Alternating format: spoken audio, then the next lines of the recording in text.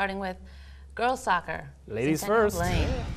Two of our very own teams went head to head in girls soccer when the Centennial Cougars took on the Blaine Bengals.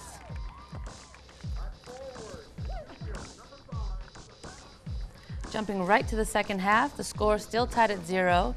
Katrie Gifford's got the ball in the left corner. She looks across,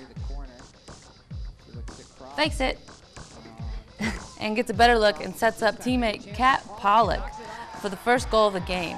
The Cougars take the lead 1 0. Taking a second look at that, Yeah, non-Glinsack. Nice pass there. Mm-hmm. it almost looks like the goalie had it, but the side spin on it sends the ball right by.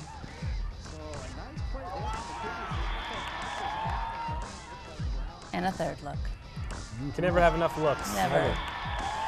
Head coach Ginger Flohawk very happy and enthusiastic about that one. High fives for everyone, and thrown in a hug there for good measure. Where's my high five?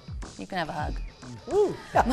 Blaine does get a chance to tie the game, but the wall that Centennial set up proves to be too much of a challenge, and the kick is too high and clears the top of the goalpost. Blaine fans not happy about that one. Blaine Bengals will not score for the remainder of the game, and Centennial wanted takes us the keep win. our first touch on point and stuff and get open and just play with each other and stay connected and not panic and freak out and stuff like that.